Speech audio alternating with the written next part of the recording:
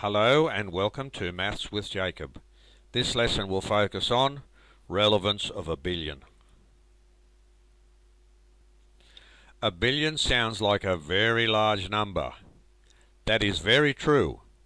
The most widely accepted definition of a billion is a thousand million. That is, a one with nine zeros after it.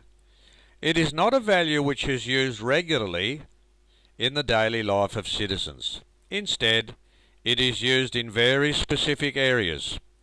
For example, it is quite normal for a country to report that during the month of July, for example, the trade deficit was $2 billion.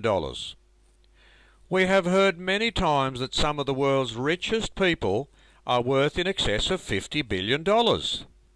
There are not many people in that category, for obvious reasons. Currently, the population of the world is about 7.5 billion people.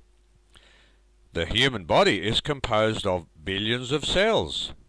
There are billions of stars in the sky. And billions of people eat rice.